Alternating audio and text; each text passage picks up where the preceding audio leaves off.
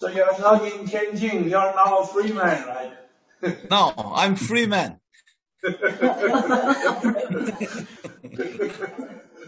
Oh, we cannot see you. yeah, I'm not in the board. Uh, so I, I think I, will start the, uh, the, the side events. My colleagues, ladies and gentlemen, uh, good morning in New York, good afternoon in Europe, and good evening in Asia. So this is the STI Forum 2022 side event. Open Science promoted quality graduate education in Global South. So my name is Wei Yang, the moderator of this side event. Uh, I was the former president of Zhejiang University, where this event is virtually hosted. I'm also the present chair of CCOS, treasurer and UNESCO representative of TWAS, advisor of Springer Nature, and chair of uh, CSA DGE. Uh, today is the 4th of May. Uh, in China, we call the the day of youth for the young people. And uh, today we have four focus points related to the topic of the side events. Uh, the, these focus points are first, transformative effects of open science to address pressing challenges of graduate education in Global South especially under pandemic situation. Number two is the role of international multi-stakeholders in preparing graduates from developing countries with the required qualities to become researchers nourished by open science. And three, the best practices of current future collaborative models for quality graduate education in Global South, especially for women. And number four, a global effort for providing inclusive and affordable open data for Global South. So these aspects will be addressed by our six distinguished speakers today.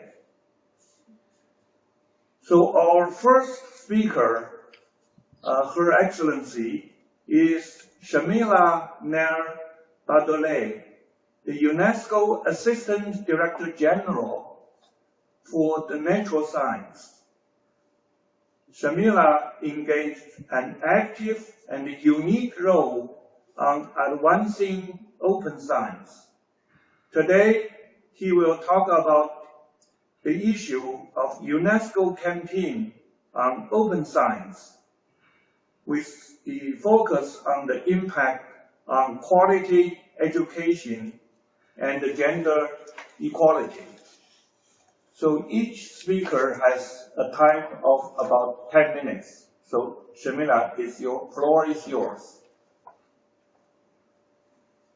Thank you very much, uh, Professor Hyung. It's a great pleasure here uh, to be with you here today. On behalf of UNESCO, I address you here today and sincerely thank the organizers, UNDESA, Zhejiang University, China Association for Science and Technology, and the Chinese, uh, the Association of Chinese Graduate Education. I thank you very much on behalf of UNESCO for inviting us to share with you here today. Dear Professor Wei Hyang, Chairman of CCOS, distinguished speakers on this panel today, ladies and gentlemen. Quality education and open science are inseparable, and the relationship is reciprocal. Open science aims to provide the access to science and scientific advancements to everyone, everywhere, and quality education enables people to develop and contribute to open science. What better way then to share this day with you here today on the Day of Youth? We need to nurture our qualified experts and young scientists and youth with the state-of-the-art educational methods, technology, and knowledge in order for them to shape sustainable societies with inclusive science. Now, specifically on the open science, I would like to share with you UNESCO's role. Since 75 years on, UNESCO strengthens the link between science and society to increase the impact of science. And this is the spirit of open science.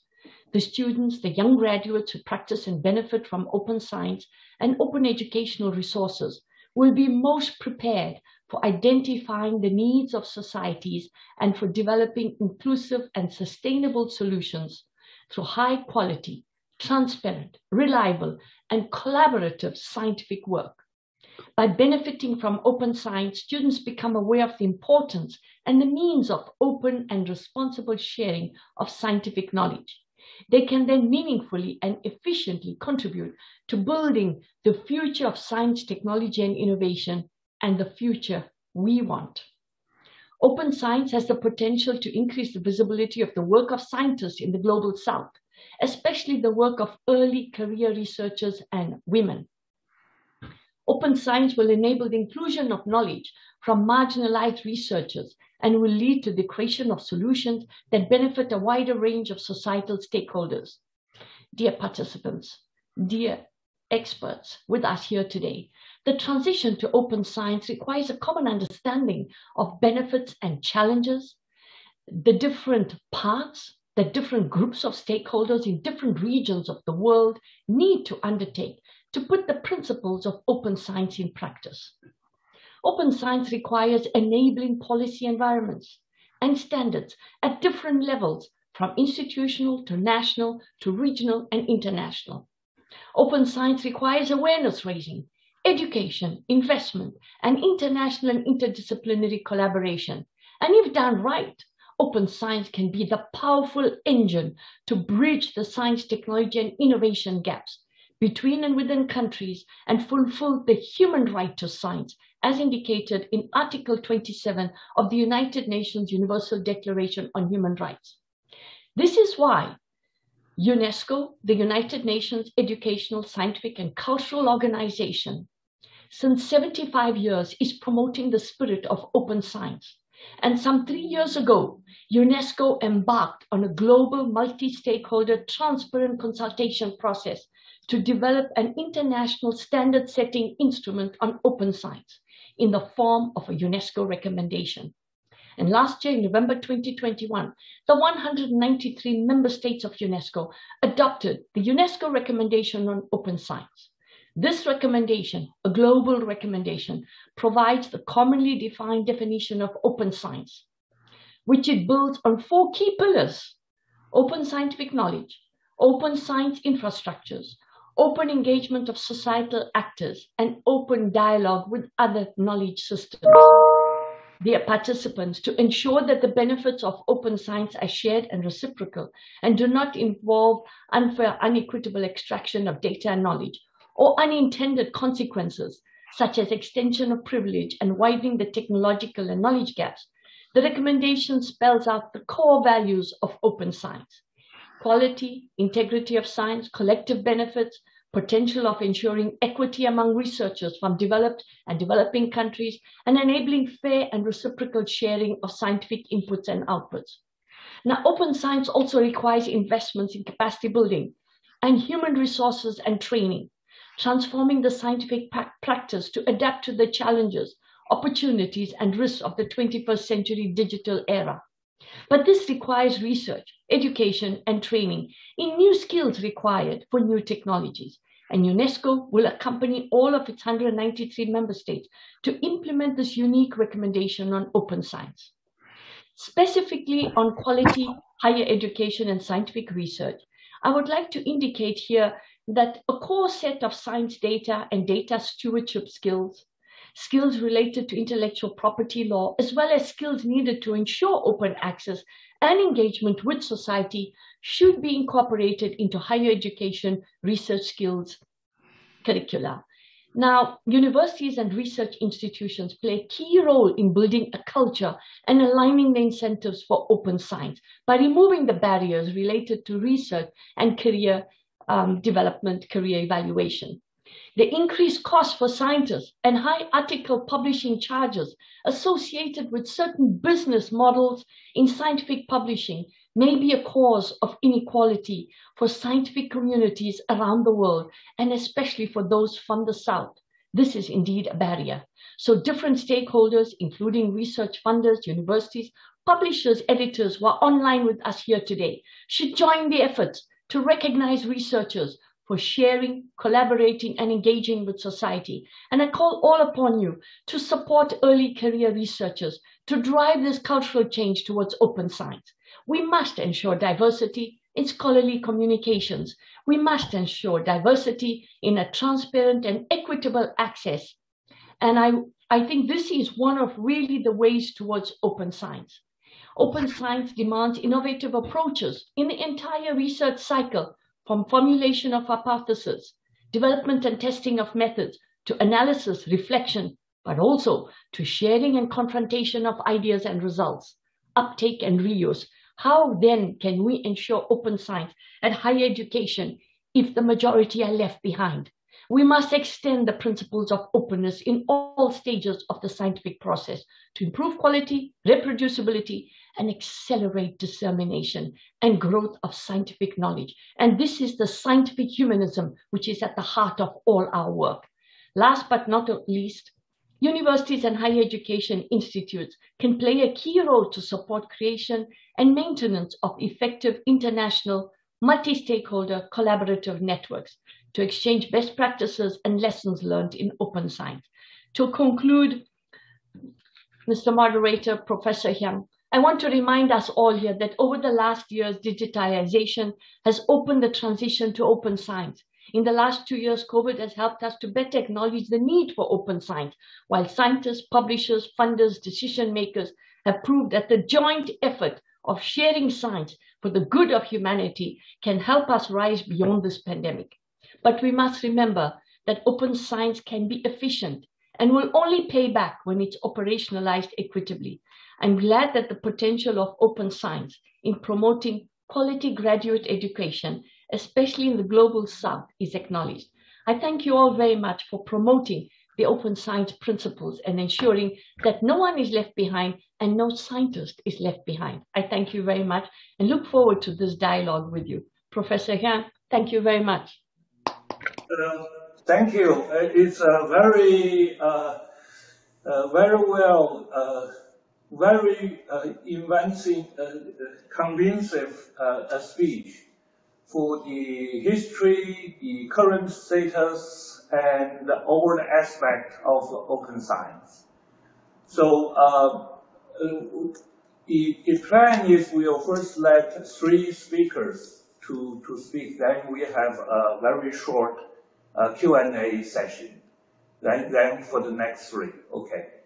And uh, we move to the uh, second speaker, and uh, he is also my good friend and colleague, uh, Dr. Romain Murenzi, uh, Executive Officer of the World Academy of Science, known as TWAS. Uh, besides science, Dr. Murenzi is also a very experienced uh, in institutional, national, and international levels on quality education. So quality education is one of the SDG uh, target, uh, goal uh, we try to address uh, today. And uh, he will bring with us uh, a presentation on the pilot program programs, graduate education, and the South-to-South -South collaboration. So Dr. Murenzi, please. Uh, thank you very much um, uh, for giving me this opportunity to speak. Um, and again, um, my name is Romain Murenzi, and I'm the Executive Director of UNESCO TWAS, the World Academy of Science for the Advancement of Science in the Developing World, a UNESCO program, unit based in Trieste in Italy. Uh, quality education holds a fundamental role in reaching sustainable development goals in developing countries. The promotion of open science in particular, which is a, a large focus of today's panel, provides us with new possibilities for exchanging best practices, sharing our experience in innovative activities in both graduate education in South-South collaboration. Most importantly, it brings key stakeholders together to keep enhancing a culture of collaboration, one where we can work in unison towards scale up graduate education for developing countries. We are here today because we all recognize that open science is increasingly recognized as a critical accelerator for the advancement of, of the United Nations Sustainable Development Goals. It really is a game changer in bringing, in bridging the science, technology, innovation gaps and fulfilling the human right to science. You see the potential of open science to address pressing challenges of graduate education in global south is truly enormous. Because of the UNESCO TWAS mission is focused on building scientific capacity in the developing world, we and I personally are deeply committed to tackle these issues. As an academy, TWAS has uh, almost 1,300 elected fellows from more than 100 countries. 11 of them are Nobel laureate, about 84% of TWAS fellows come from developing nations and are the most, the, the world most accomplished scientists and engineers. As many of you know, TWAS also implement a range of capacity building programs to advance science in the developing world. Many of these programs have a focus on South-South collaboration. They include fellowship, fellowship for PhD, postdoctoral, fellowship research grant, exchange programs, and prizes. The support that TWAS provides for scientists in the developing countries of, is of critical importance, in particular given of the emphasis that TWAS programs place on young researchers. We hope that to build a strong generation of future scientists and future leaders for the global south. As mentioned by Shamila, the importance of um, uh, focusing on the early career. For example, TWAS established the TWAS Young Affiliate Network and through the links created this program. CLIC collaborations have arisen on novel interdisciplinary project. The largest and longest standing capacity building program at TWAS is the Research Grant Program, which comprises grants for individual scientists as well as more established scientists who lead a research group. The latter scheme also includes funding for training master's degree student, which is a strong education and skill, skill building program. These complement other TWAS programs such as the PhD Fellowship Program, which functions thanks to the invaluable support of program partners in emerging economies. Importantly, because we are guided by Agenda 2030, we have developed a host of additional programs that we run to complement our capacity building effort. Among these, a flagship project focused on science diplomacy as a tool to ease the resolution of global problems, bridging to, bringing together young scientists and policymakers from the global south. Another related project focus, focuses on refugee and displaced scientists whose scientific careers, careers must be supported to ensure the preservation of science, which alongside alongside leaving no one behind is one of the key objectives in our Science in Exile initiative. This leads me to a key concern for TWAS and a fundamental issue in any South-South programming to avoidance the brain drain. You see, the academic mobility, the academic mobility is a wonderful and necessary achievement for scientists. For scientists, we support it for this reason. TWAS runs a number of change and academic mobility programs that are a key opportunity we offer. Yes, yet we also know that that is a system back home we are, are not in, enhanced. Few of the scientists we, we return home after their, ex, their experience abroad. This is why many of our programs have a, a significant element of capacity building towards institutions and not only individuals. The experience of TWAS in past decades has also shown us the key aspect of successful program run by TWAS entails responsiveness to the need of developing countries themselves, which is why programs like TYAN bring together the best of young scientists from around the world. We have also learned that building such truly collaborative model for capacity building and graduate education in the global south, especially for women graduates, requires meaningful relationship with actors on the ground, which is something that we do alongside regional partners.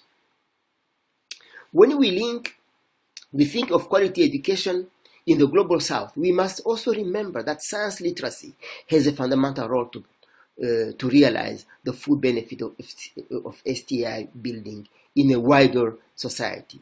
The pandemic has shown us just how important this is. In fact, as uh, I wrote an editorial in the TWAS newsletter on the importance of science for all people. If people do not understand the basic science of germs, they will be less likely to wash their hands. The same can be said of climate change. Resilience to its impact is closely linked to an appreciation of the scientific dynamics that underpin it. For the public at large, climate is an, idea, is an ideal interdisciplinary thing for lifelong learning about scientific progress that touches all, and an appreciation of the ways in which human affects are affected with by the earth systems.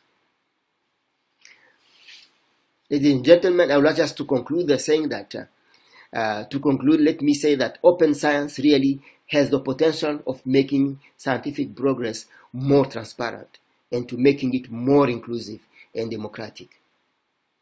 It is this inclusiveness that I think is fundamental for the, the attainment of SDGs and Agenda 2030. The UNESCO recommendation on open science has been a key step in this respect. The effects of open science to address pressing challenges of graduate education in the global south can be truly transformative. We now need to prove that we, can, we are up to the task. Thank you. Romain, for your uh, stimulating uh, speech. And uh, also thank you to, to bring the, the point of uh, qualitative graduate education and also the South-to-South uh, collaboration. And we'll uh, back to this issue during our panel discussion later on. So the our next speaker is the, a charming lady, and the Professor Lianzhen He, uh, she is also my colleague at uh, Zhejiang University. But she is the Vice President of uh, Zhejiang University for International Collaboration. And the title of her speech is The Path Forward the future of graduate education cooperation in the global south. So maybe you can share the yeah, screen. The screen, right. Okay. Thank you, Professor Yang.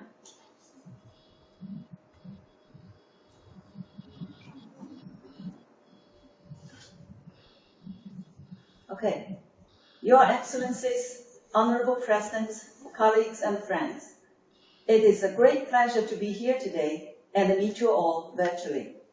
I'm happy to be part of today's meaningful conversation on topics of graduate education in Global South. Investing in education is the most cost-effective way to drive economic development, improve skills and opportunities for young people, as well as unlock progress on all 17 Sustainable Development Goals. Graduate education has become more important and necessary than ever as it brings a lot of benefits to the individuals and to the society as a whole. With the world moving increasingly forward towards a knowledge economy, tertiary education can help economists keep up or catch up with more technologically advanced societies. According to the recent World Report by Toronto-based Higher Education Strategy Associates, titled World Higher Education, Institutions, Students, and Funding, the Global South is changing higher education. In detail, the global number of HEIs was approaching 90,000 in 2018, with over three quarters of these in the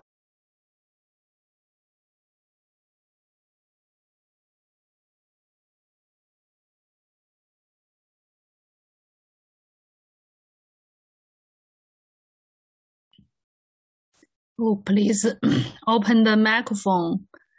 Already closed. Professor He. Sorry. Uh, yeah, please go ahead. Sorry. Yes, okay. Okay. Yeah, that's okay. That's okay. Ah, I'm sorry. Yeah. Okay. Although this report said 56 countries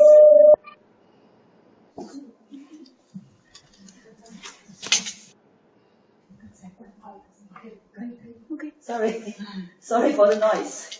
Although this report looks at 56 countries to establish a global picture based on a sample of over 90% of the global higher education system, it is possible to make generalizations about global trends based on much smaller samples.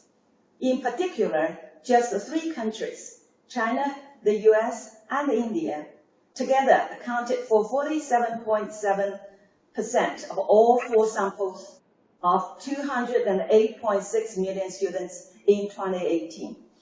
These countries also contain 54% of the world's higher education institutions, though this is mostly due to India, which on its own accounts for 46%. Taking THE World University Rankings as a reference, only 17 institutions from Global South are listed among the top 200. It is not surprising to see this. The improvement of tertiary education quality in China is also reflected in the ranking. However, none of the universities from other low-income countries appear in the league table, which indicates more emphasis on quality education is urgently needed for Global South. China is a global powerhouse in the sphere of international higher education.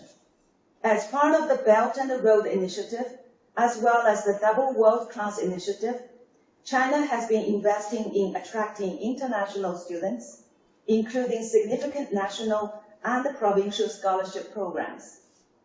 The number of international students in China has increased over the recent decades, from 77,000 in 2003 to about half million in 2018, with an average annual growth rate of over 10%. In 2018, international students studying in China came from 192 countries and regions and studied in 1,004 Chinese higher education institutions. Half of those students were studying for a diploma, according to the Ministry of Education of China 2020. China is currently the most prominent international student host country in Asia and the third study abroad destination in the world. For instance, China actively implemented multiple innovative projects to promote South-South cooperation between China and other developing countries. Since 2013, more than 4,300 people from developing countries have been funded to study for master's program or doctoral degrees in China. Some examples include the 20 plus 20 cooperation plan for Chinese and African institutions of higher education, the establishment of the Atom Atomic Energy Scholarship Project, Talented Young Scientists Program under the Belt and Road Initiative, and so on and so forth. Through these programs, China has strengthened the scientific research collaboration and exchange of visits between teachers and students with countries in Global South and jointly cultivate high-level talents. As one of the leading universities in China, Zhejiang University actively participates in these endeavors. First, I'm happy to provide you with a brief overview of the university. As a member of the C9 League, ZJU ranked the third in China and the 45th worldwide. We are also a member of the nation's Double First Class Initiative, which aims to build world-class universities and first-class disciplines. While seeking truth and pursuing innovation, we consider global engagement as priority. Currently, we have formed partnerships with more than 200 universities from 40 plus countries and regions across the six continents, setting up over 60 double degree programs and over 40 international joint labs and research centers. Over the past five years, ZJU has hosted hundreds of students from global south countries. In 2021 alone, around 400 students in LDCs studied on our campuses. Then I'd like to particularly introduce some programs that we have launched. First, the International Design Education Program is jointly implemented by the UN Technology Bank for the least developed countries, the World Eco Design Conference External Link, and the International School of Design at Zhejiang University. The cooperation aims to enhance the design education capacity of the LDC, which offers great potential as a driver of innovation, problem solving, and economic growth. Second, the master program in innovation, entrepreneurship, and global leadership. Focusing on the leadership skills needed to successfully manage global business, the program is based on an action learning model in which the students will get access to business consulting projects from excellent corporate partners. It offers the students great opportunities to dialogue with the most influential entrepreneurs and executives from famous Chinese companies such as Alibaba, NetEase, and Vanke. Third, the training program on poverty alleviation and the development for developing countries. To understand China's national conditions and the economic and social development achievements, to introduce China's anti-poverty policies comprehensively, achievements, practices, and experiences, to improve the practical skills of students in carrying out anti-poverty work in their own countries, to promote exchanges and make China's contribution to achieving the goals of the 2030 Agenda for Sustainable Development. This program has been around for nearly two decades, since 2004, and has trained 700 plus officials from 100 plus different countries and regions. Well, looking forward, I'd like to put forward two suggestions on how to strengthen and enhance our South-South collaboration in the domain of educating graduate students. The first idea that pops into my mind is to establish a high-level cooperation program between the Chinese Ministry of Education and TWAS, in which I suppose all the leading universities in China could be involved. The program could attract more talented students from various developing countries and provide students with scholarship to seek further education in China. It could also become a multilateral cooperation platform where interdisciplinary research could happen among distinctive researchers from different countries. Second, we should harness the technology to benefit education programs, especially in such trying times. Information technology highlights the feasibility on studying online without restrictions from the pandemic and the physical distance. For example, as part of the Z4G action plan, the two-week global summer school is launched to inspire the young students to electrify the global community in response to the UN 2030 agenda.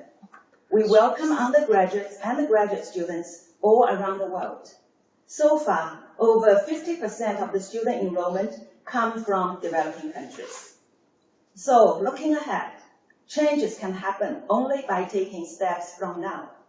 We still have a lot to, of space to improve in promoting quality education, but we always believe that collaboration is the key.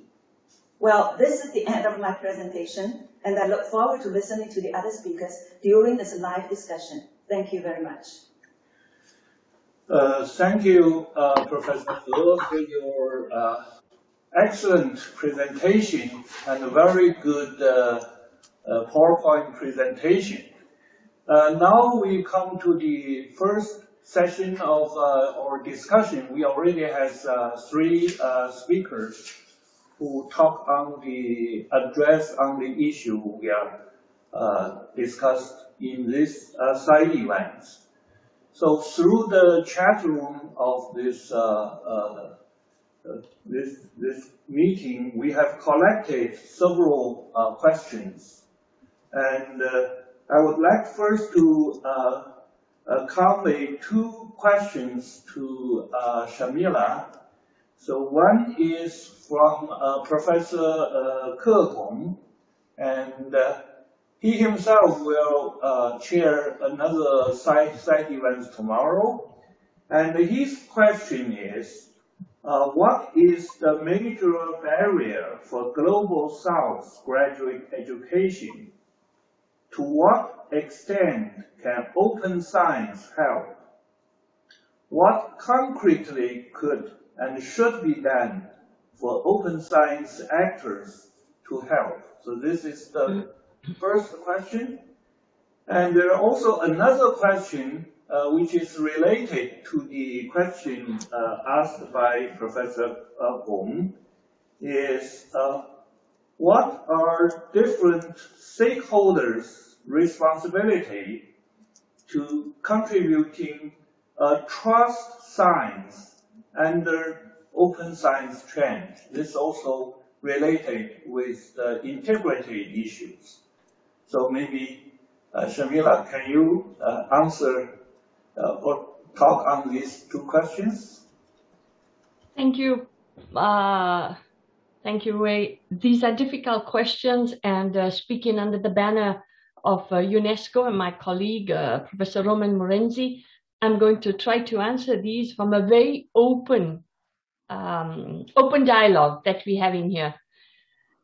I think uh, some of the major challenges facing uh, science scientists from the South is, first of all, access to scientific data and information. If one looks at the large journals of the world and the high impact journals, they do not publish research from the South. And maybe that's a question I would like to put out to, to our publishers. Why is the science from the South not valorized?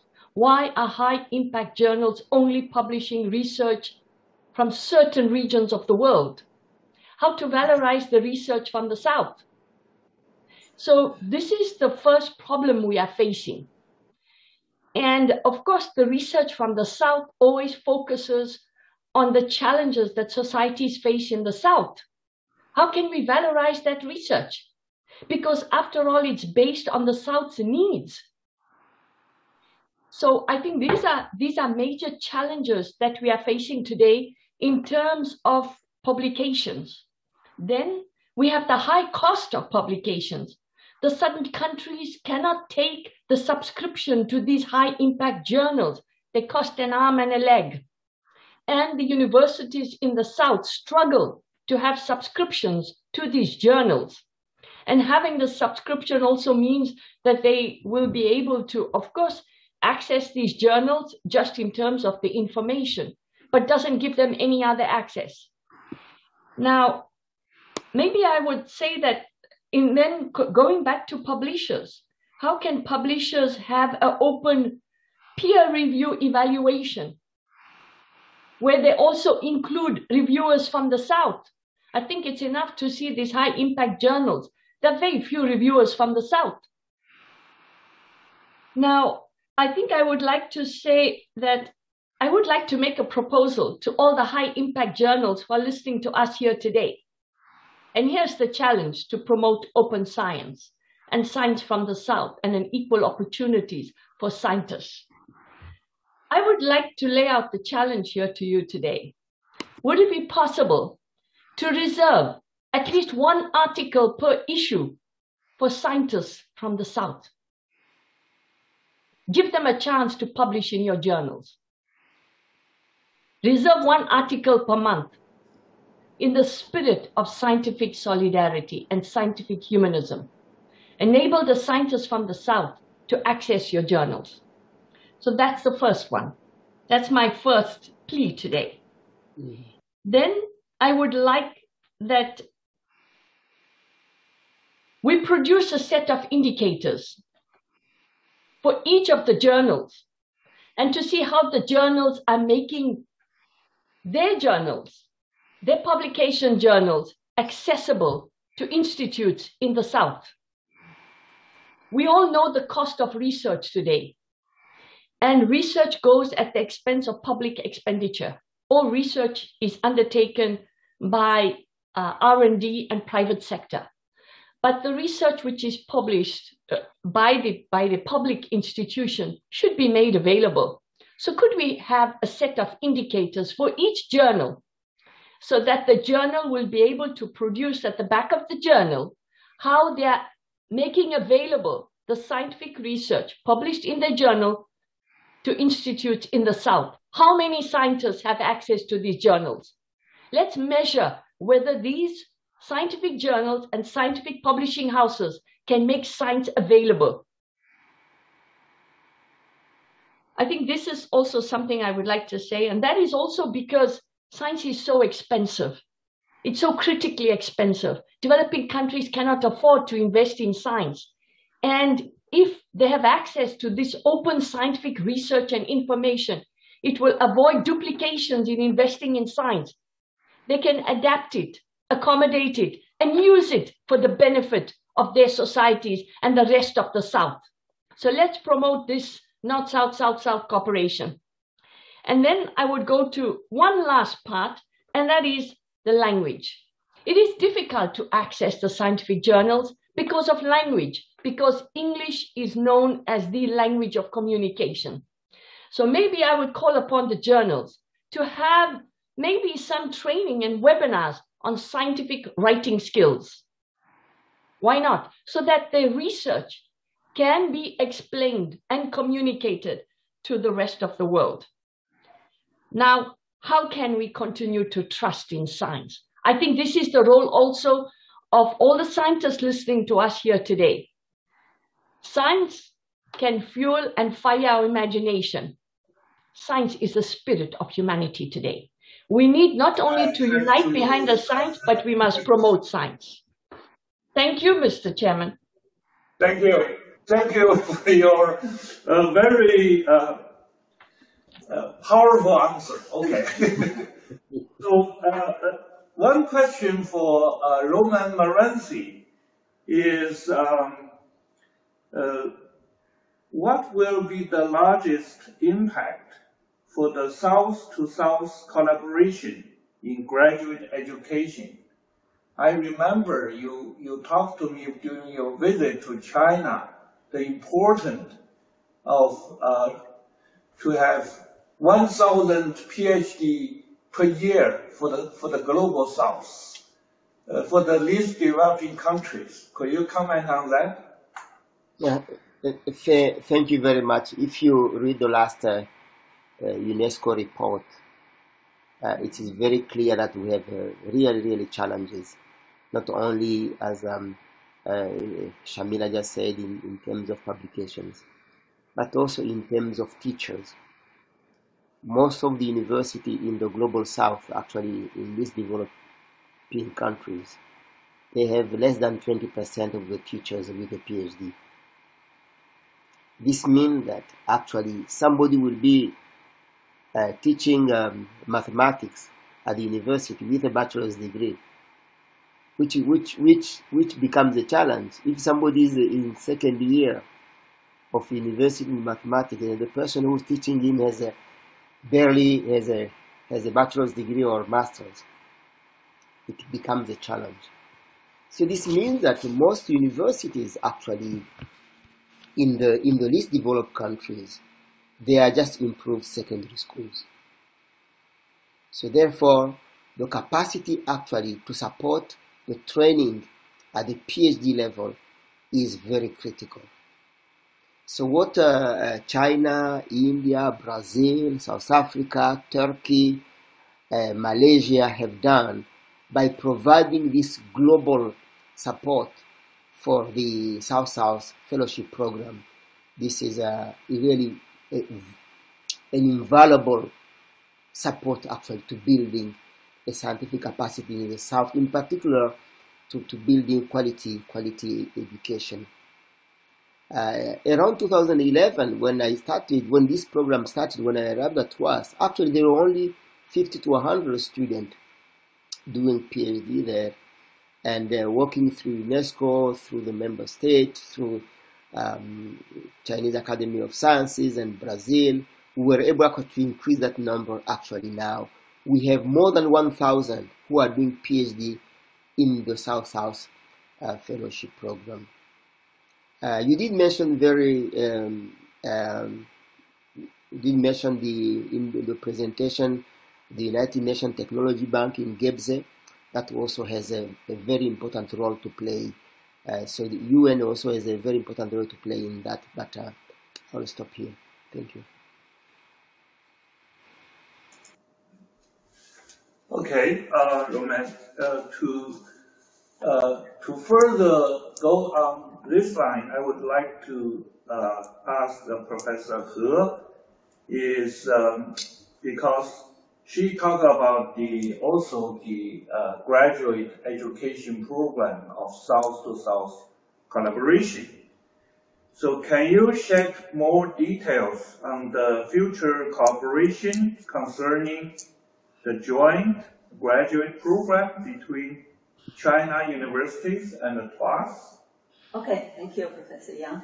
Yeah, TWAS is an educational and scientific organization representing scholars from developing countries, which will serve as a great bridge between Chinese universities and the developing countries to promote quality graduate education. And in fact, currently, we are working with the Ministry of Education in China and TWAS to set up a fellowship program, which is similar to the successful model between TWAS and other stakeholders.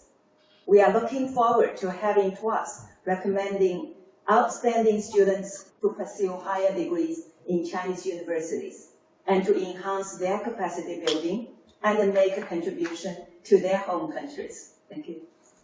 Oh, thank you.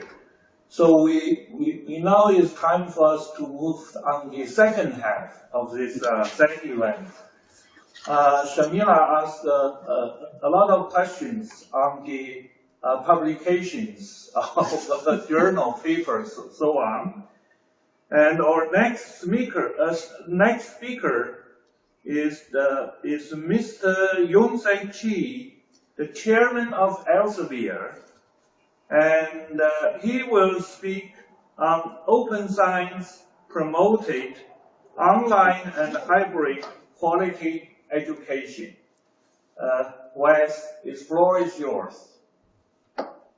Thank you, Yang Wei. Um, my longtime friend, it's been too long since we've shared a meal in Hangzhou or Beijing. I hope that I can soon visit China again.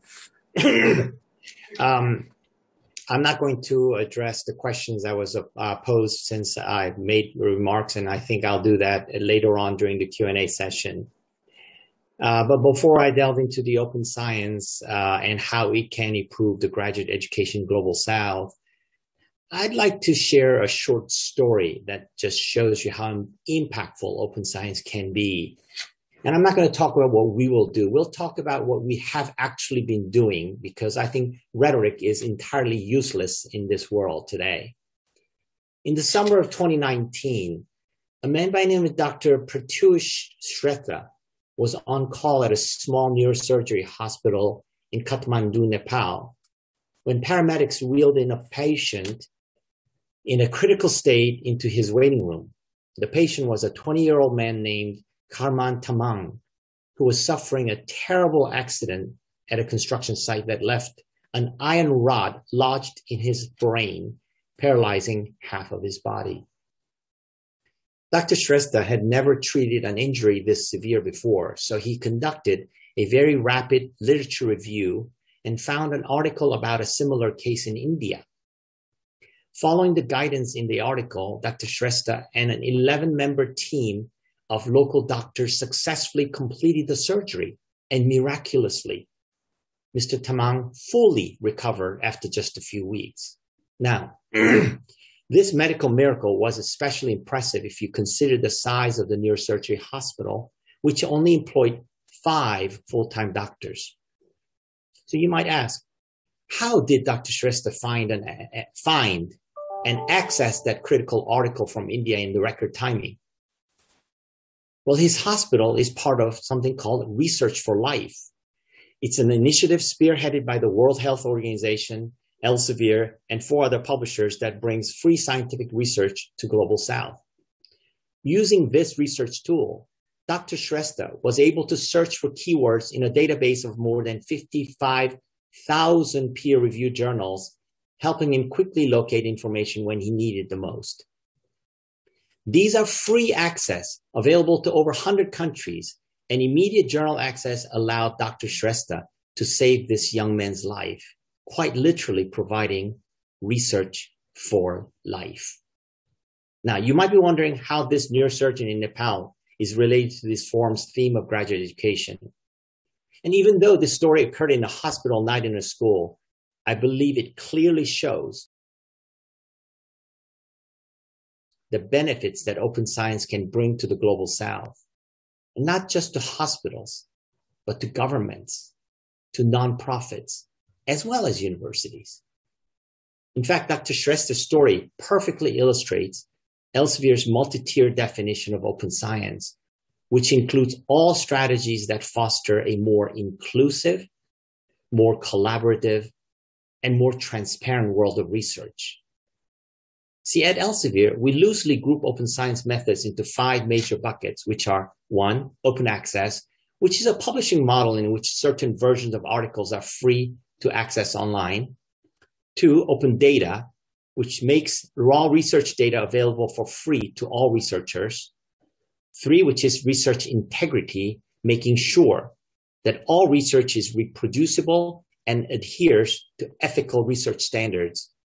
Number four, knowledge exchange, which is the movement of information between researchers and potential users of that information, which brings the benefit of science to the actual society.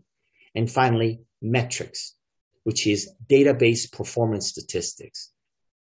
While each strategy is important, it's really the combination of all these strategies that creates the best results. Just think of Dr. Shrestha. He clearly benefited, benefited from initiatives enabling free and low cost access to research. But his research was also facilitated by the strong research integrity of the Indian scientists, whose transparent reporting allowed Dr. Shrestha to reproduce their methodology. And a platform for knowledge exchange between India and Nepal helped them quickly access and utilize this material. Finally, as his team is currently drafting an article about their own successful procedure, he can use open access publishing models to help bring his research to medical communities throughout the global south. Because he works with Research for Life country, Elsevier would automatically waive the standard article processing charge for free to open access publishing. So together, these open science strategies included Dr. Shrestha's hospital and the global sharing of scientific knowledge and sparked collaboration between his surgical team and created a much needed transparency around the success of similar operations in the past. And as this story implies, we also need to use a combination of open science strategies to help graduate students in the Global South succeed. And with that in mind, I'd like to now share a couple of brief examples of how we at Elsevier advance open science through our everyday work, not as a slogan, but as an everyday work. Let me first focus on the open data piece of open science. We at Elsevier fully supports open data and has developed a simple method for data sharing.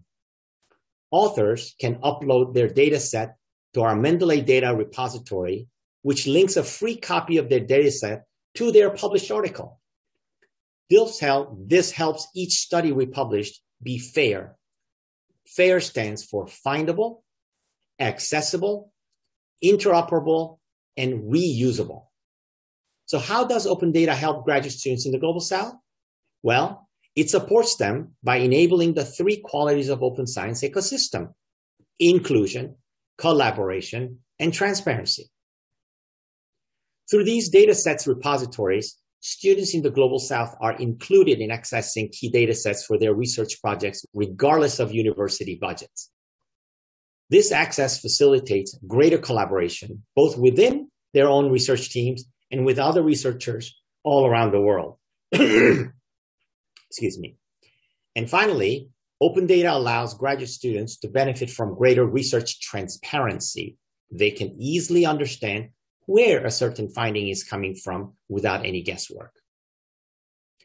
To provide one more example of the ways in which Elsevier supports open science, let's turn to research integrity. Just as open data principles are built into our core products, research integrity is a foundational element of our everyday work. Without that, there is no trust. In fact, the very mission of academic publishers is to provide high quality peer reviewed articles and protect the accuracy and reliability of research. Beyond that, we also use strong anti plagiarism protocols and offer ethical trainings for free on our Researcher Academy platform. As you might have guessed, research integrity also helps graduate students in the Global South by fostering inclusion, collaboration, and transparency.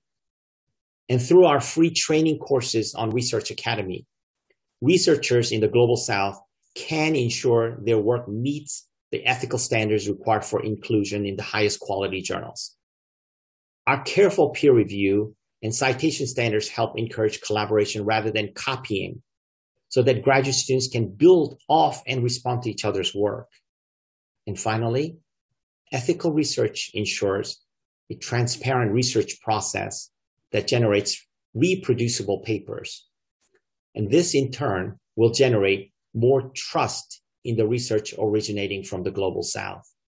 Now, these are just only two examples of many, many activities that Elsevier incorporates into open science strategies into our daily work.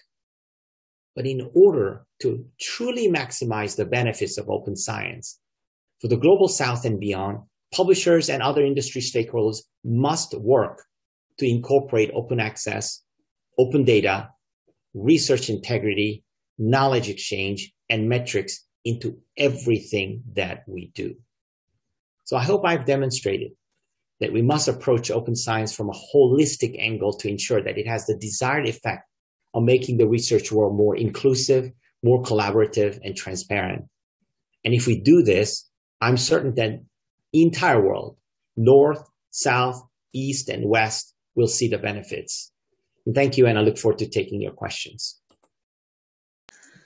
Uh, thank you, YS. I, I think your uh, speech has answered some of the questions, and also you give a very clear uh, picture of uh, what Elsevier is doing on promoting uh, open science.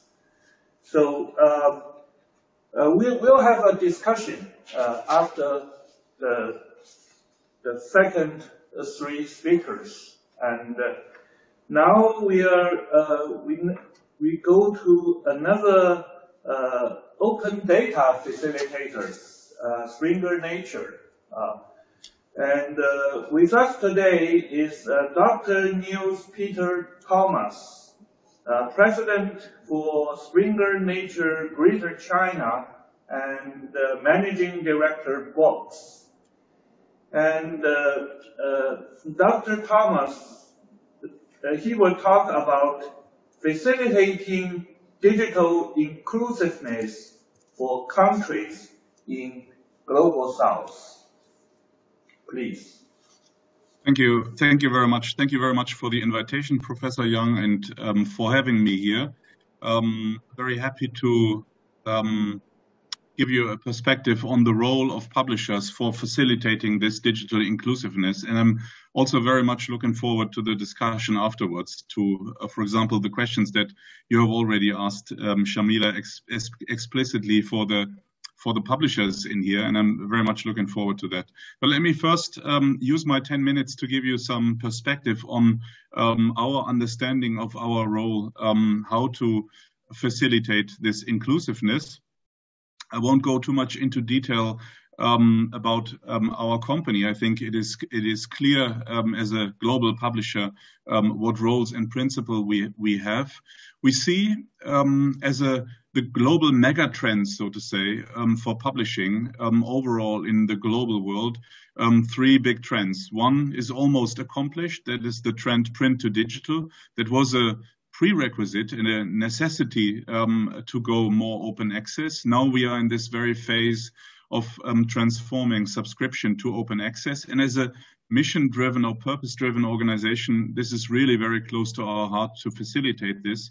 And then we see another um, global trend um, that is certainly also shared with um, most of our competitors. It's um, um going away from a pure content um, provider to more service provider, also in the context of knowledge and, and research. But let's focus now on this open access part, which is really the important part and the focus uh, point for us here today um, this, this is now the convenient situation that I'm the second speaker from the publishing industry, so I don't have to go into detail anymore. Um, that, of course, um, publishing open access includes data, code, um, uh, preprints, protocols, and the final paper, the version of record. So we as well see this as a package.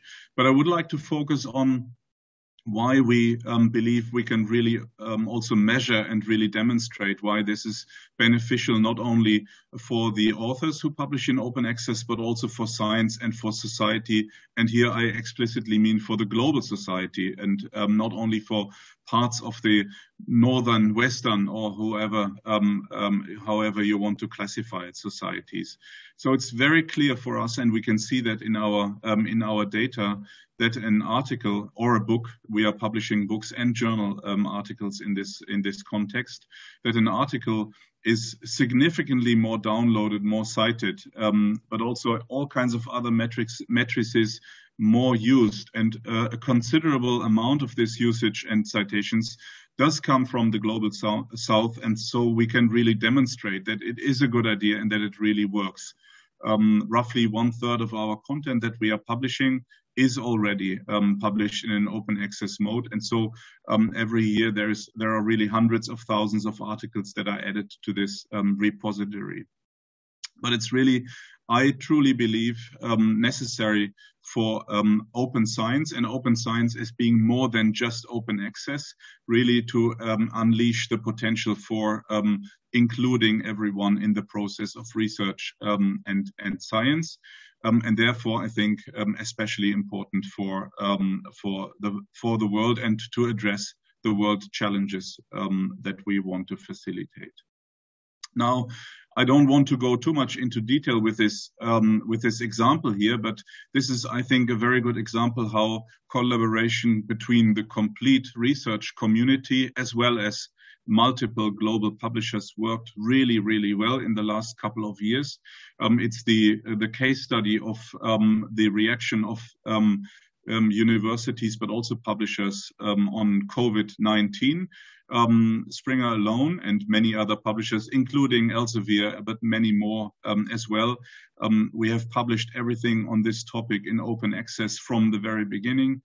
24,000 articles only by us, 70 more thousand articles and book chapters we have made um, open access uh, to really let everyone participate in the research on it.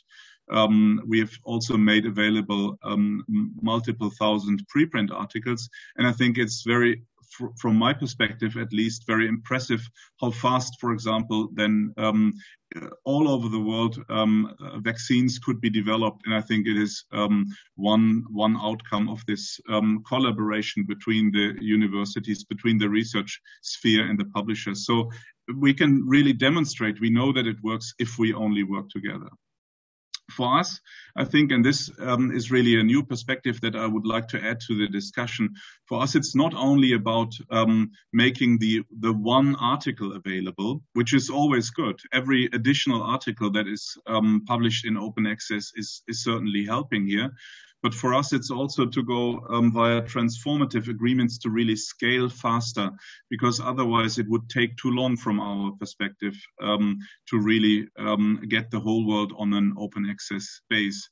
So this is why we are looking currently at um, changing um, countries where every researcher then has the same chance of publishing open access, but also reading all research all over the world. This is a trend that started certainly um, in Europe. Um, lots of European countries are already um, transformed with these transformative agreements since 2015 um, within Springer Nature and our, all of our content transformed to open access agreements. But uh, the importance here is that we are now shifting our focus and expand the transformative agreements also to the global south. So we have um, started the first ones in Africa and in Latin America. And I think it's a very good um, case study to demonstrate that um, transformative agreements is not only for the rich European countries um, that can um, really um, traditionally also afford um, the the um, to pay for the subscriptions, but it is also something that is possible to organize in a sustainable way um, with um, these second tier um, countries um, of the global south. And this is currently our focus to go more into, into this opportunity and, and start unleashing more potential also from both sides. So it's not only about letting the global south read what the, the rest of the world has published, but we want them to be included also in the publication of open access articles, which is then um, probably the next step to go there. It will certainly take a few more years to include everyone um, who needs to be included. And that is why I think in the meantime, but just as a temporary solution, so to say, um, we have installed um, a couple of um, different waiver and discount policies to really make sure that um, funding and um, uh, APC payment must not be a barrier for the poorest of countries, um, so it, there is a possibility for researchers in um, countries with um, lower funding possibilities to also publish in all of our um, uh, in all of our journals no matter which um, impact factor they have, simply because we have this um, APC waiver and discount policy. We are also supporting Research for Life. Um, thank you for mentioning it and, and um, giving the case study here. Um, we are one of the participating um, publishers here, and, and we really believe that this is something very, very meaningful, as, as it was powerfully demonstrated just a few minutes ago. Before I come to the end, I would like to um, just focus on one more aspect um, that hasn't been mentioned um, in detail yet in our discussion, but I think it's very much linked to it. And this is the focus on SDGs, on the Sustainable Development Goals um, uh, defined by, by the UN, because Springer Nature is also supporting them very much. I'm, I'm very um, proud to say that already every fourth book that we are publishing has a very strong SDG focus already, and we are really trying to facilitate and encourage more researchers to publish in these areas. Um, and we are able to improve and to grow the number of SDG related publishing, uh, publish um, uh, articles and um, book chapters from year to year. There are three um, SDGs that we have selected as a company to be our focus SDGs. One is number four, quality education. One is uh, number 13, climate action. Um, not many people are speaking about climate action in the last couple of years because the world seemed to have more pressing problems right now, but I think it's still a very, very important one. So this is also what we have selected. And number 17, partnership for the goals. And I think especially quality education number four and um, the partnership for the goals 17 are very much in the center of the topic for today. Um, and that's why I believe that um, this should go really hand in hand. Um, the focus on open access and open science, but also focus on the SDG. I would like to stop here in the interest of time, but um, then again, very much looking forward to the discussion.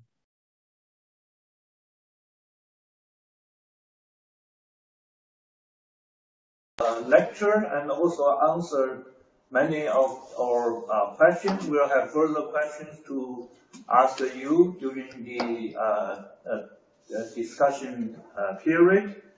Now we come to our final uh, speaker, uh, is Professor Jie Qiao and she is the president of China Association of Women in Science and Technology.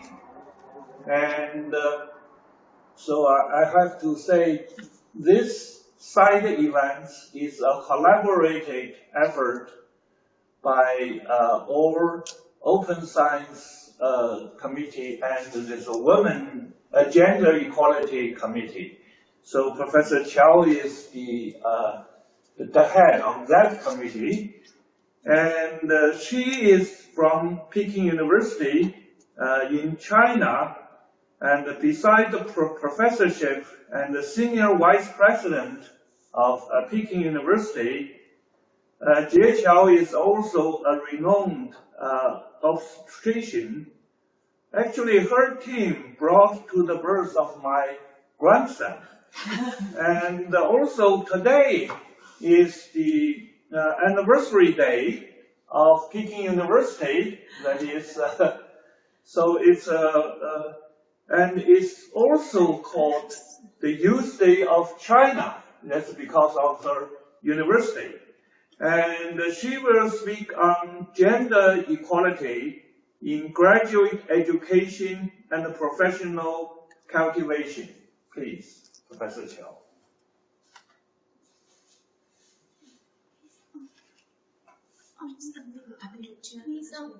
You, you, you, you.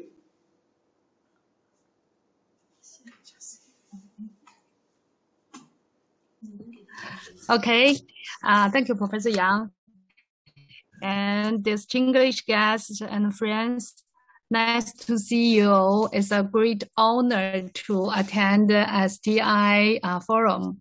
Uh, I really enjoyed the presentation uh, the five speaker already gave. I'm the last speaker today. The content I share with you is gender uh, equality in graduation education and professional culture. Um, yeah, what's it? Okay.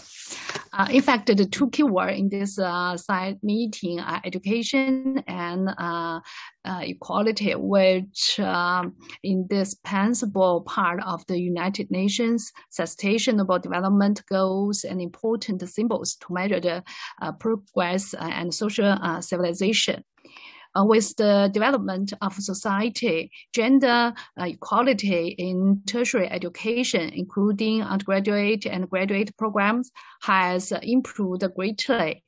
According to United Nations estimate, during the past uh, 30 years, gender disparity in uh, tertiary education have shifted from male to female uh, advantage in the world the global level of um, female enrollment in tertiary education is 41% in uh, 2020.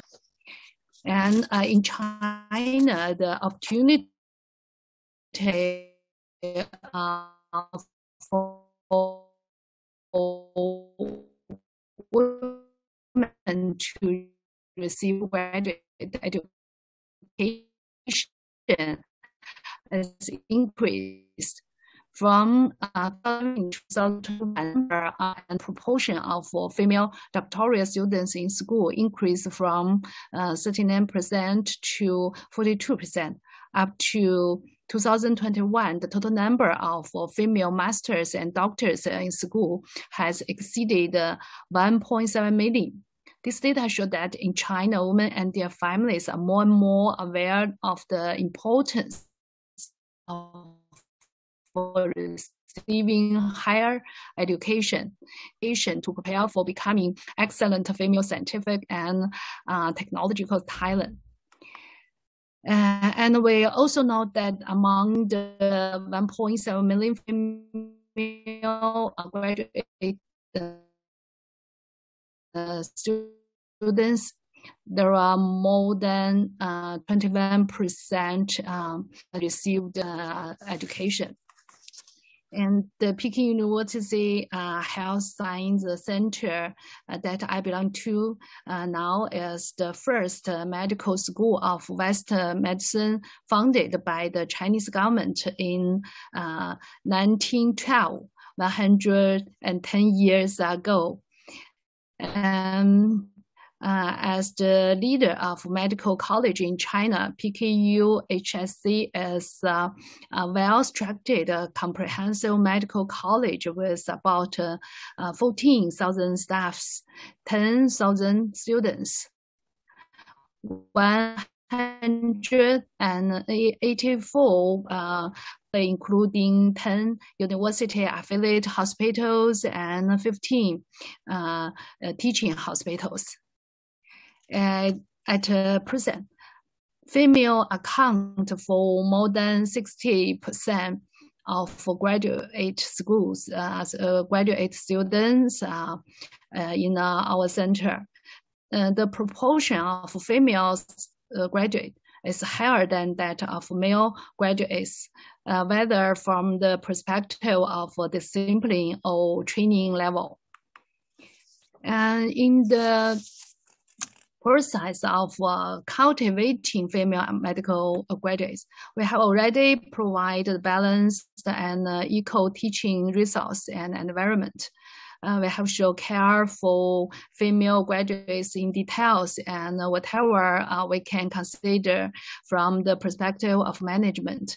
Uh, for example, the graduate uh, physical education, more uh, quantity and uh, appropriate class are provided.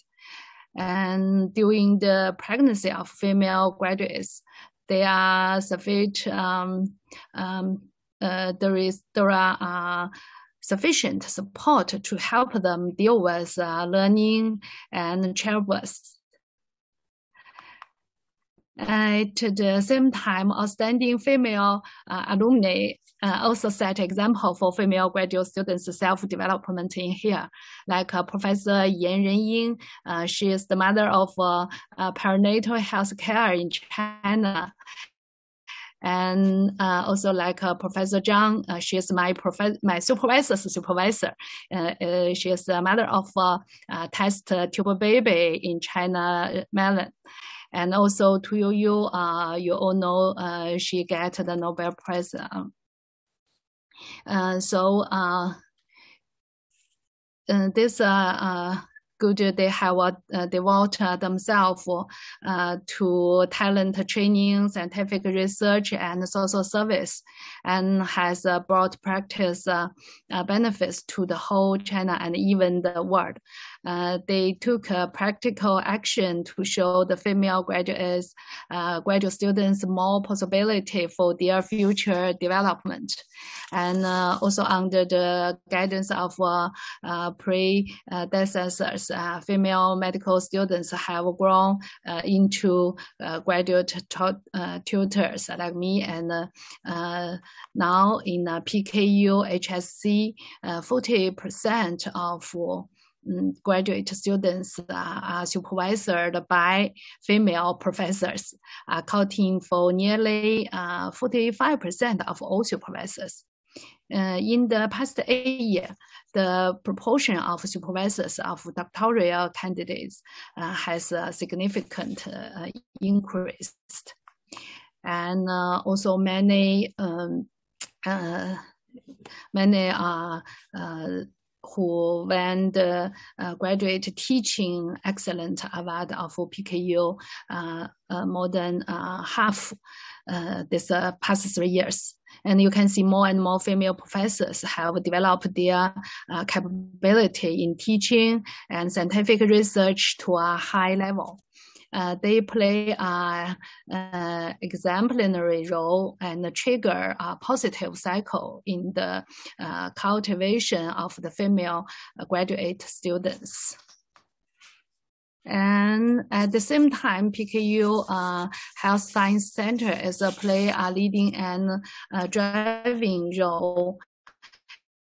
And we provide a nationwide continual education opportunity for professional women in the healthcare uh, field.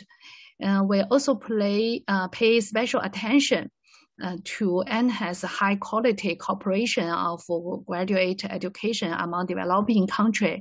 And now in PKU, HSC, uh, there are 36% uh, graduate students from developing country are female.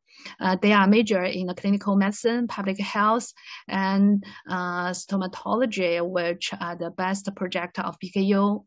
Our uh, executive master of public health program also recruit uh, 30 students from uh, Africa, supported by the China uh, Africa Friendship Award.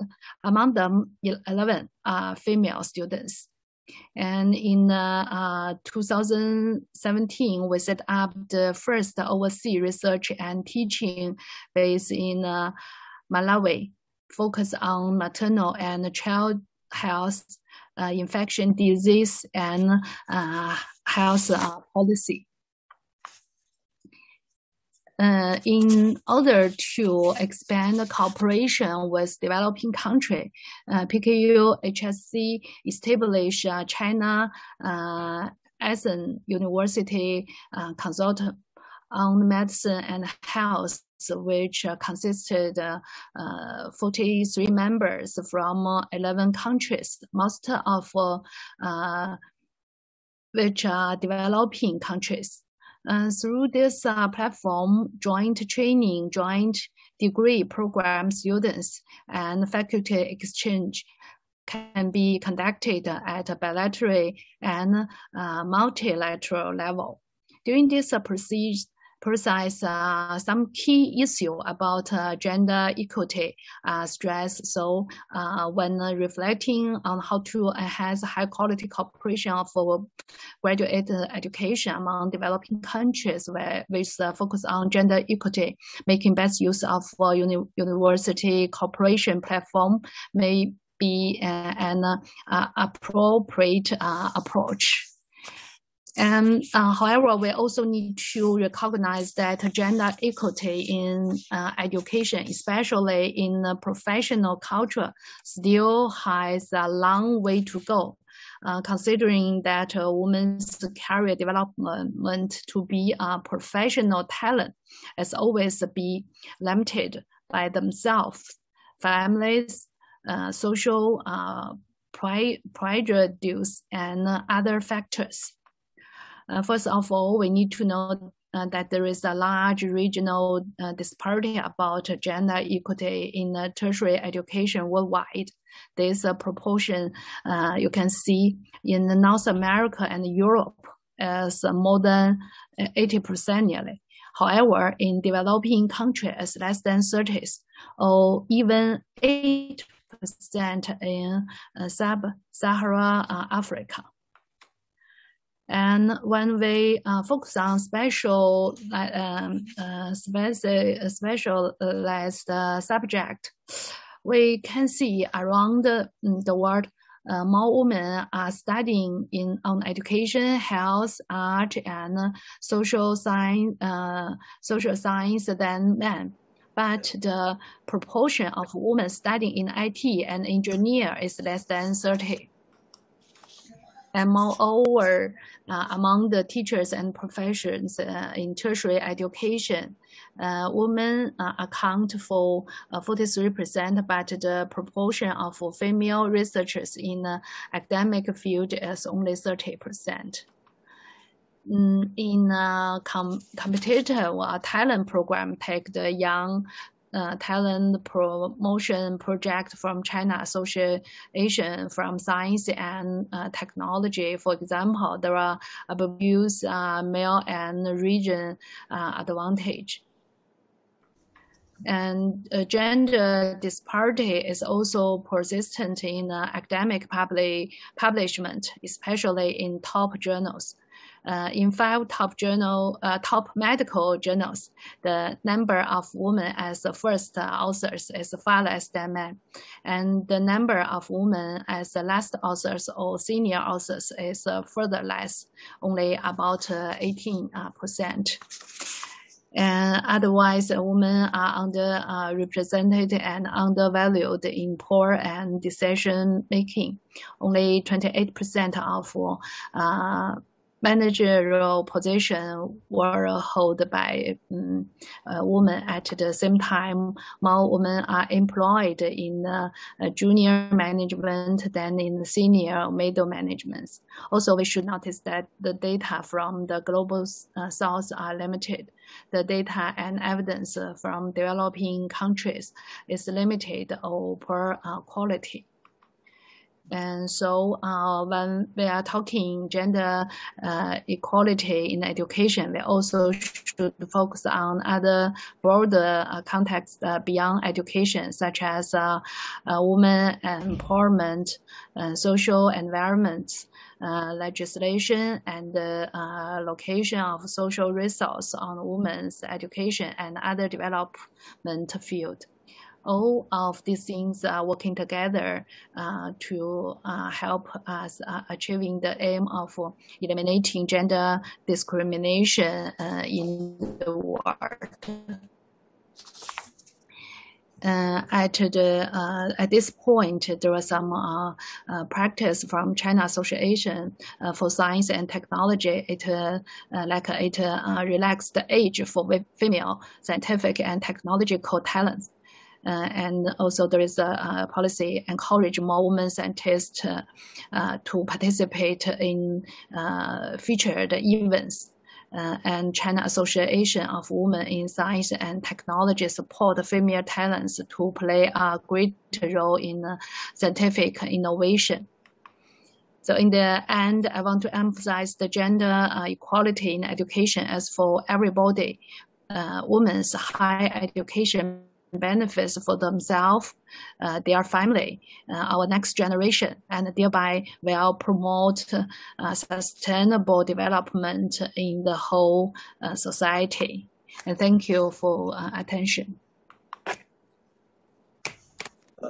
Thank you very much uh, for Professor Qiao Jie for your well-prepared PowerPoint presentation. Gave us a lot of data on the uh, current st statistics on the gender uh, balance, which in, in your university, in your hospital, and in the higher education in China, and also uh, in uh, a lot of uh, figures, uh, digit, digital figures in the world.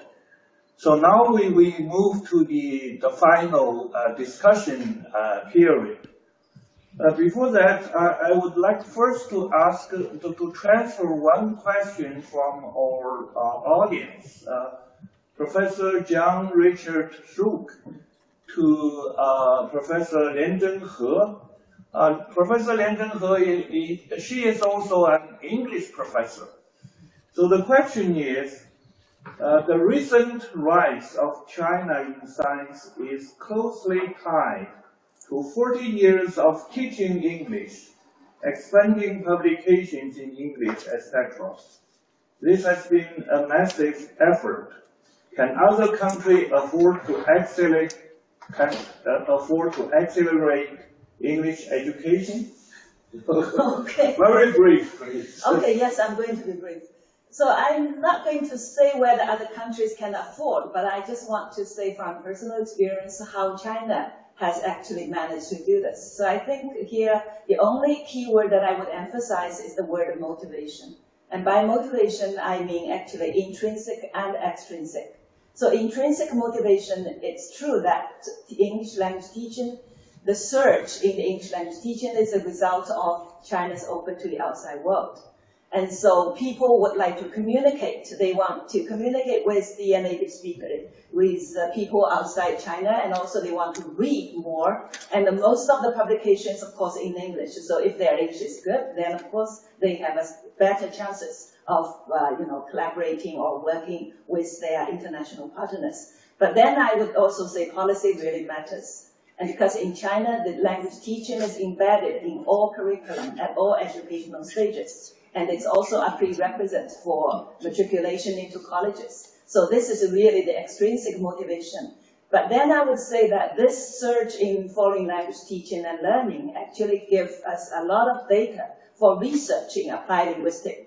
And recently, we can see a huge number of uh, articles published by written by Chinese scholars in the field of linguistics and applied linguistics, particularly pertaining to the Chinese context of language learning, teaching, and assessment. So to some extent, I would say that this surge really has led to a great increase in the research field, increase our visibility in the research arena as well. Okay. Okay, thank you. Uh, I have uh, two questions uh, for uh, Dr. Thomas, Niels Peter Thomas. The first question is raised from the audience, from uh, Dr. Shuai Yan.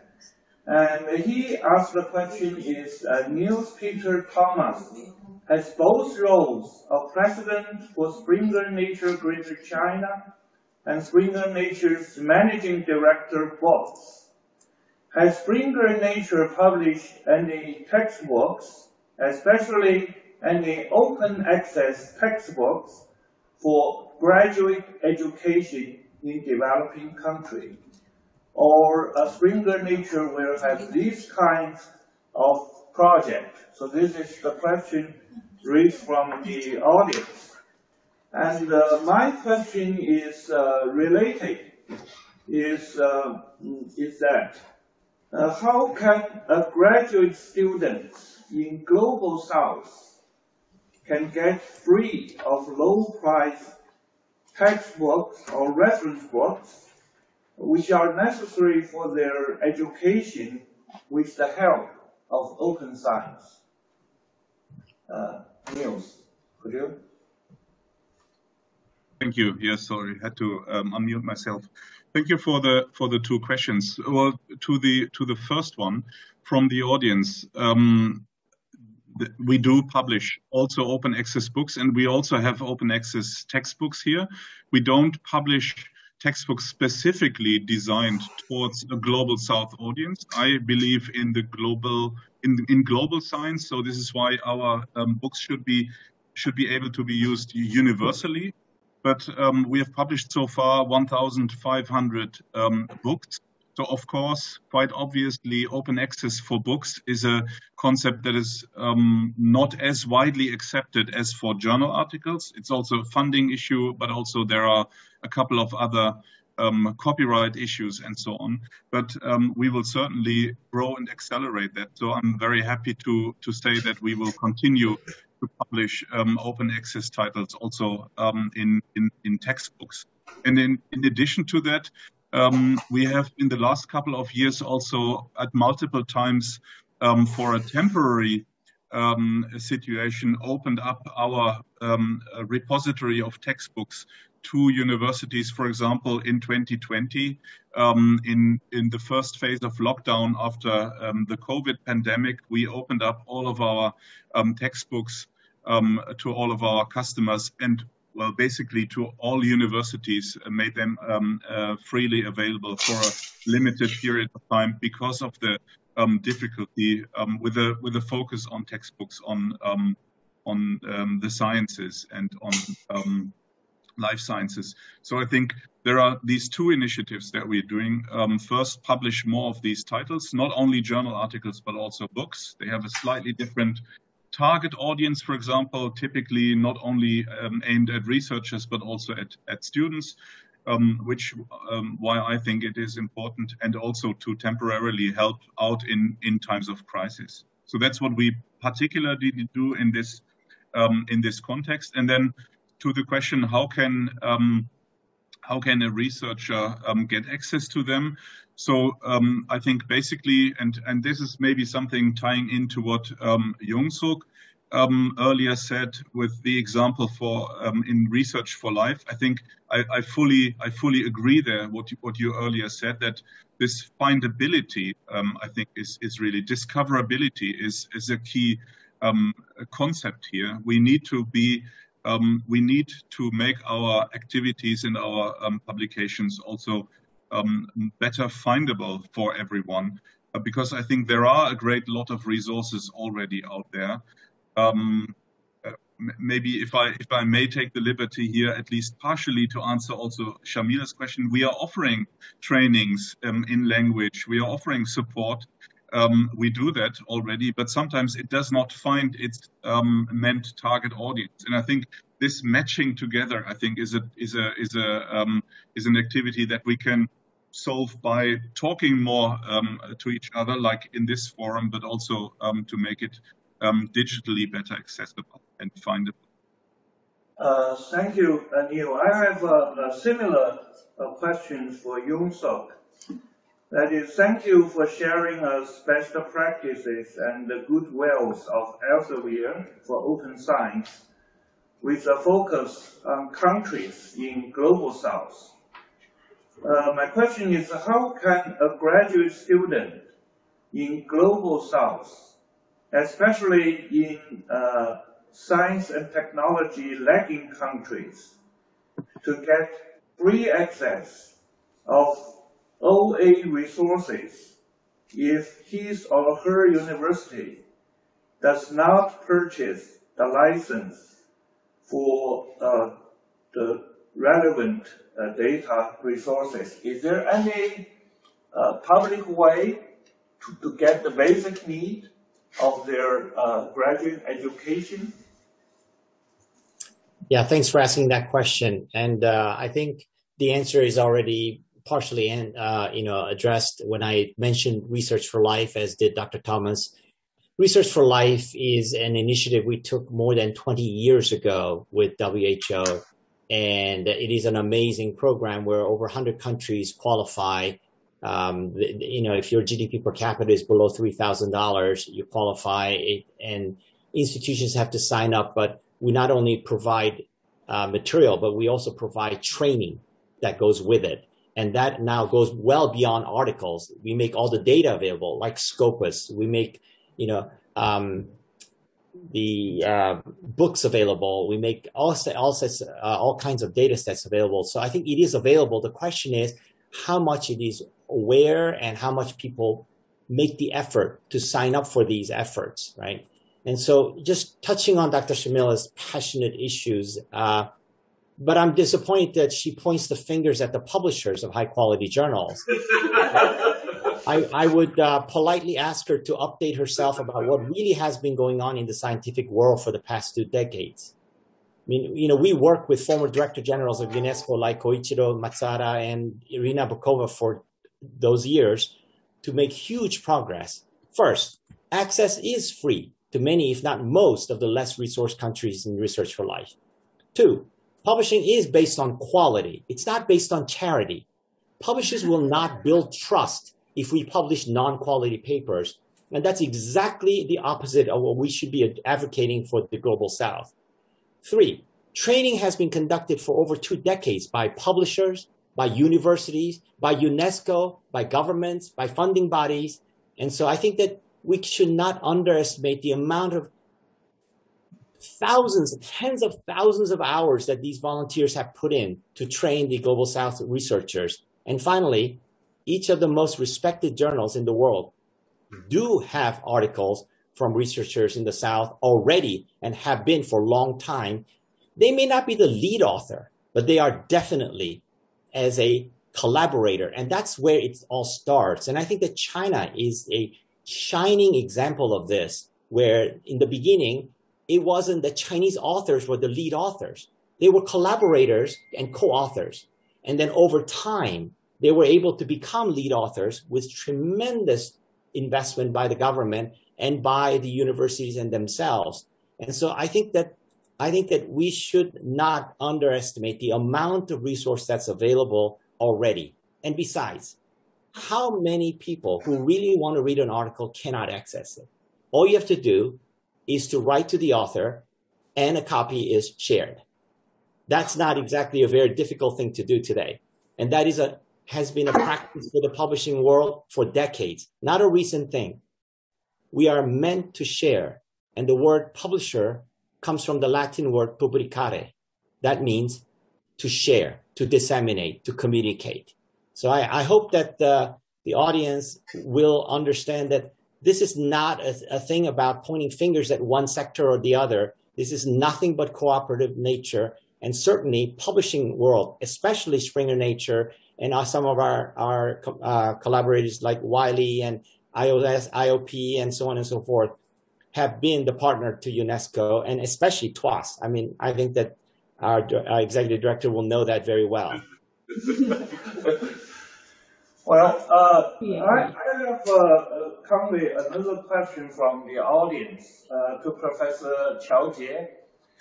And uh, the question is, uh, what is your take on uh, giving higher importance to women's education when it comes to quality education? So is women education is connected with quality education or can you answer this? Connected the what? Uh, Sorry. 就说这个 women education and quality education are they related Or different issues? Good. Actually, I think uh, for the um, female uh, education, actually female have a, um, a good ability, uh, like uh, in the open science, uh, they have ability of the reading, talking, uh, even the experience uh, technology. Because uh, uh, the richness of motherhood, uh, actually sometimes they have the advantage for that. So I think just for control themselves they need to increase the uh, confidence for themselves and but but uh, also for the society and the university uh, need to create the more uh, communication uh, platform for them that can improve the quality of the education for the female. So um, I think no uh, barrier for that. Uh. Okay, thank you. Uh, I can see uh, both uh, Shamila and Romain has raised their hands. So who, who will to, to say first? Shamila? Thank you, Hui. And uh, let me say that this has been a very stimulating discussion. I've, I've learned much, uh, especially from uh, Youngsuk and also from Niels Peter, from Xi, from uh, uh, Lianzhen. It, it's been great, great to listen to you. And, and let me first say to Youngsuk that uh, we at UNESCO greatly appreciate Springer Nature and, and Elsevier. These are laudable journals in terms of quality of the science. It's brilliant coming from my own background. I can reassure you that, but also on behalf of UNESCO. Maybe my appeal here today is beyond Springer Nature and Elsevier. I'm calling upon others to follow suit in the excellent examples you are laying for scientific publishing. We definitely must not compromise scientific rigor. Certainly not. And it's laudable that you give a chance also to developing countries, the partnership with China and, especially with TWAS. So uh, my sincere congratulations to you. And please do not take this personally. I'm calling upon others to follow in your footsteps. That was my appeal here today for, for others who are also online. I, I, just would like to say that I think it's it's very interesting to see these presentations from uh, Springer uh, Nature and from Elsevier, and the focus on three of the SDGs. Now, we are facing the biggest battles in humanity today with respect to impact of climate change, on biodiversity loss, and water. 2.2 billion people still don't have access to water technologies to purify their water. And this is the year of groundwater, making the invisible visible. We have a wealth of information at UNESCO and we are promoting what is called the technology transfer mechanisms. I think accessing technologies, uh, water science technologies, so that we could build a water secure world is also important. So SDG 6, if we can't develop, build and deliver on SDG 6, we'll not have any of the SDGs. Water is the connector, every drop counts. So maybe putting forward also some papers or water science technologies to, to facilitate the global south to access these technologies would be very critical to build a water secure world. And I think Well, I would appeal here also for technologies concerning biodiversity conservation, preservation, and hence my appeal for what is called the technology transition mechanisms. All your publications will enable countries to move into the technology transition so that they can deliver on all of the SDGs.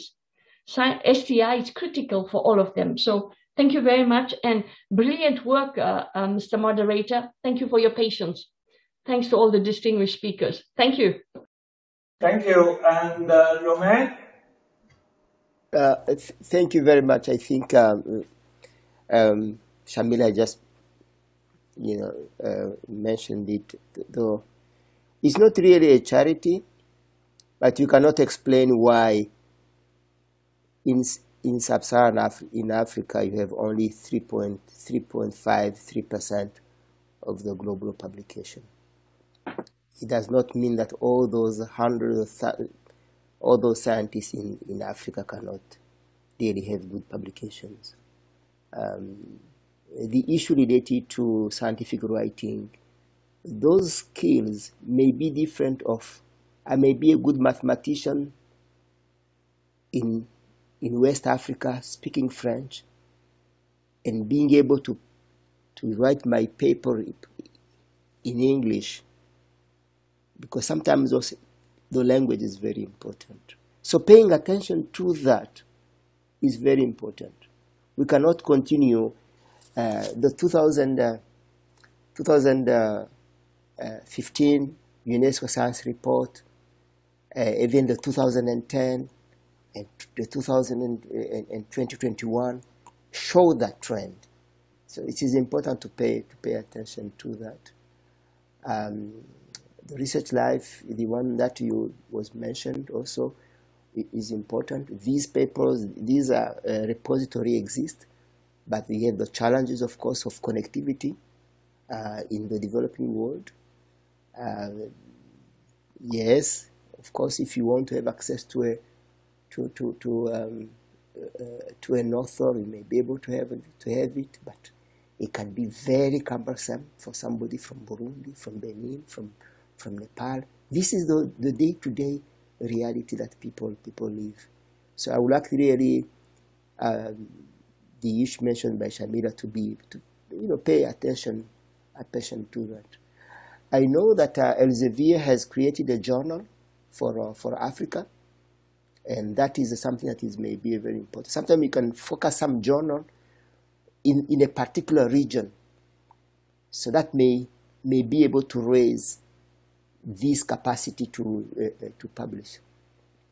There is something that I call a, a, frozen knowledge. These people from, from the global south, the least developed countries, science technology in country, they do science every day, but their paper don't appear uh, in, the, in, the, in the journals because of the issue of collaboration. Sometimes it's not easy. So there are many other barriers to having your paper in the journal than the quality. And we need to pay attention to that. So inclusiveness is very important. Um, uh, diversity is important. So we, we need to pay attention attention to that. Yeah. So I am also seen uh, uh, Niels raise uh, his hand. So uh, be brave. We are already 15 minutes. Uh, yes, I, I, will be. I will be very good. Thank you very much. Maybe just a very quick uh, response to what you said, uh, uh, Romain. Um, I, I, fully agree, and I think um, the issue about language that you just mentioned is certainly an important one. And I very much hope that in the future it will be much easier to solve that with technology. So we've seen here great um, progress in automatic translation, um, both on the author side or on the publisher side. Um, so I think this is certainly something where technology can can um, can help a lot because I mean that is a problem that um, many countries have not only in the in the south but I I, I agree it's a particular um, um burden there. Let's hope that um, that technology, which is cheaply available, really um, nowadays can really can really solve. Um, I wanted to also contribute. I mean, um, Youngsuk, you mentioned the, the, the great example of China, and I just wanted to share one data point that it is possible within one generation to really change um, the way.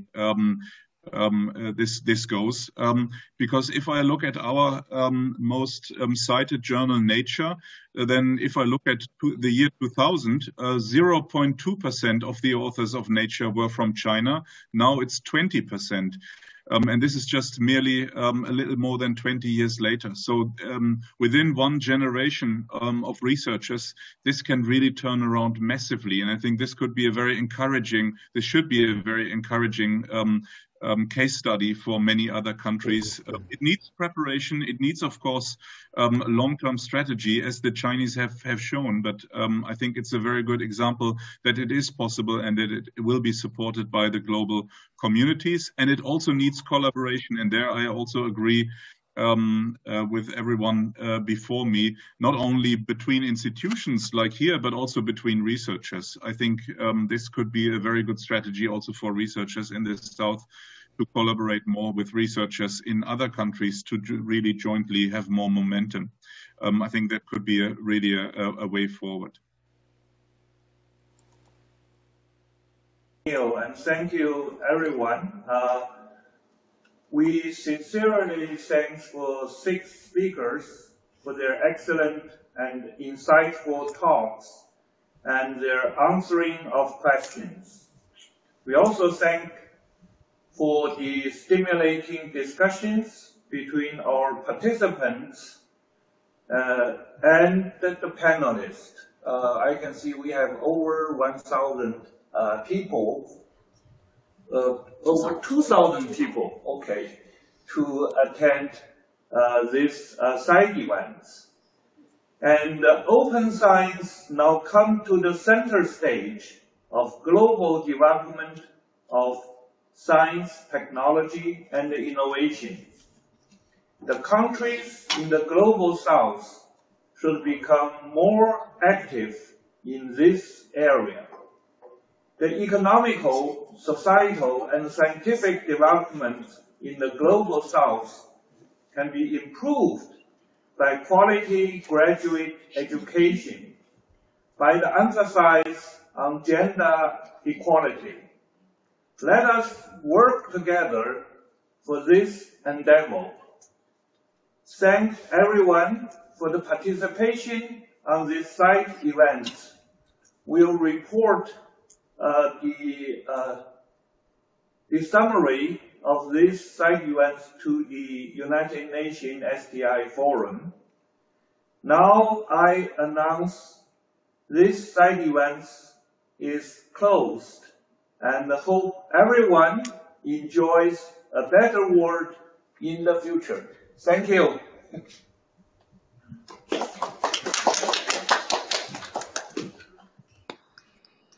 Okay, bye-bye. Bye-bye. Bye-bye. Bye-bye. See you Congratulations. next Thank you. time. Now online. Yeah. Good evening, everyone. Outside.